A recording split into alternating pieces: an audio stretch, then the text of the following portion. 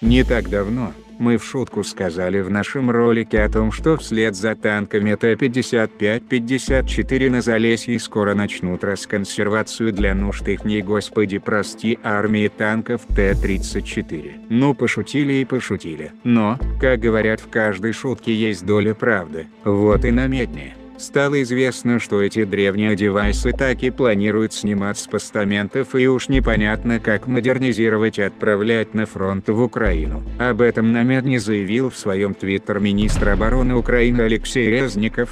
РФ планирует привлечь к войне против Украины советские танки времен Второй мировой войны. После того, как РФ начала расконсервацию танков, произведенных в конце 1940-х годов, они также решили создать дивизию из танков Т-34 времен Второй мировой войны. План состоит в том, чтобы снять их с постаментов в городах и городках по всей стране, написал он. При этом он подчеркнул, что новейшие танки западного производства Абрамс Леопард и Челленджер должны теперь быть очень напуганными. В общем, друзья, теперь для нас будет наука.